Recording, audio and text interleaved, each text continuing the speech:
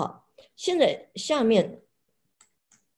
我们来看到底做父母有什么责任？嗯。我刚刚讲，很多时候我们就觉得，只要他书读的好，只要他的他身体好，我们做饭给他吃，这是他。那我们来看一看啊，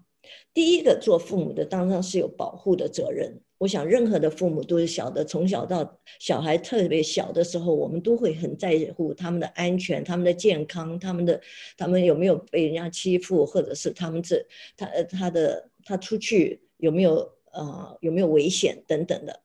但是我现在要想强调的就是说，我们有时候对孩子的保护都是很都是外在的，我们没有注意到，其实他很多时候他的内在也需要有很多的保护。你要保护他不受这些一些错误的想法的影响，不要呃让让他不要在网络上看一些不该看的东西，以至于那些东西进到他里面影响他的价值观。我们有没有保护？我们有的时候就把孩子就丢出去，就这丢给电脑，丢给电视。可是我们从来不跟他一起看电视，看看他到底在看些什么。很小的时候，我看到很多父母，他们三小孩子三岁四岁的时候，他嫌他吵，就让电视来 babysit 他，就一天到晚让他看电视。所以小你就会发现，在电视机前面长的孩子，常常就是他没有那种孩子的纯真。他常常他的想法都是一些非常世世世世就是就是，呃，不是叫世俗，就是很成人的一些想法。你就会发现说，我们没有保护。我曾我记得我曾经啊，帮助一个家庭做他们的辅呃做辅导，因为他们呃家庭的关系很紧张。那那个父亲呢，他是对那个孩对他的呃男孩的要求就是。成绩，成绩，成绩。所以，如果这个孩子他考回来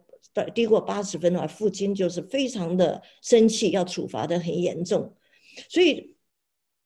那然后在在无意中，我们在谈话的时候，那个父亲提起说，那个孩子花很多时间在电电脑上，而且他有他甚至会进到色情网站。那我心我听了以后，我心里就会因为我的专业，我就心里就会觉得非常的警惕。因为十几岁的孩子如果进进了现被进到色情网站的话，他很多时候对于两性的关系、对于婚姻的看法、对于很多方面，他都是都会走先有一个先入为主错误的观念，这对他将来一生是有很大的影响。所以我就问他，我问那个父亲，我说你你孩子上色情网站，难道你不担心吗？他说他的回答就是最最。典型的很多中国父母的回答，只要他成绩好，他他做完功课做什么我都不管。所以我就觉得这个父亲他只他完全就没有想到他有保护他孩子心灵的责任，保护他你要保护他跟什么样的朋友在一起，他的朋友有没有给他坏的影响，还有你今天有没有把他放，比如说你给你的孩子很多的零用钱。你有没有去去发现他到底零用钱是怎么用的？就说很多时候我们都是对孩子没有尽到积极保护他内在的责任，这是我特别要强调的。第二个就讲到生活的规范，我们很容易在孩子小的时候，我们就是给他很多生活的规范。我告诉他几点钟要吃饭，要睡，要起床了，不可以晚上不可以晚睡。可是，可是我们这这。我们对孩子这样的态度，我现在就是要想想想，呃，告诉告诉一些青少年的父母们，等到你的孩子越大，你就不能够再他到十六岁，你不能再照着六岁的孩子的方式跟他规划了。你这分钟要做什么，下分钟要做什么，管得非常的细的细致。是，你越大的时候，你越要给他，让他有做多一点的选择。你要规定他说你几点钟以前可以把功课做完，但是，但是你你要给他一个大题目，但是他细节上他要先他要先吃东回家来先吃东西再做功课，还是先做功课再吃东西？只要他能够在那个之前做完的话，你不要给他很细节的规划。我觉得有的呃，然后穿什么衣服，到底呃到底。嗯，要做什么？我觉得我们有的中国父母对孩子，要不就不管，要不的话就管得非常的细致。可是你从来没有让孩子自己有，呃，就就是处理自己时间、空间、金钱的能力。这个就是你必须要要要呃要准要训练他的，因为呃我我们的孩子，我们就是到了十六岁，我们就不给零用钱了，我就要他们去都要出去打工。所以是呃，因为我原因是因为我是觉得。